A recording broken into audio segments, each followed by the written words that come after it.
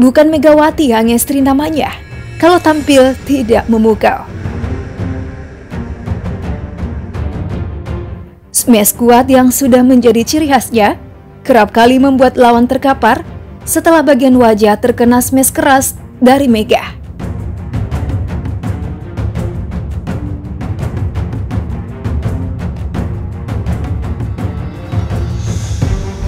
Misalnya saat Red Sparks berjumpa dengan GS Caltex pada lanjutan Liga Voli Korea pada Januari lalu.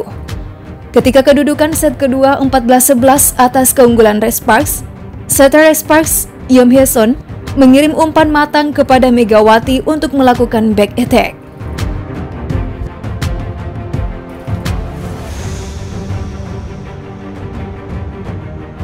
Meski dua pemain GS Caltex melakukan blok, Smash keras Megawati dari area belakang berhasil menembus pertahanan dan bola tepat mengarah ke libero Ges Caltex Han Sojin.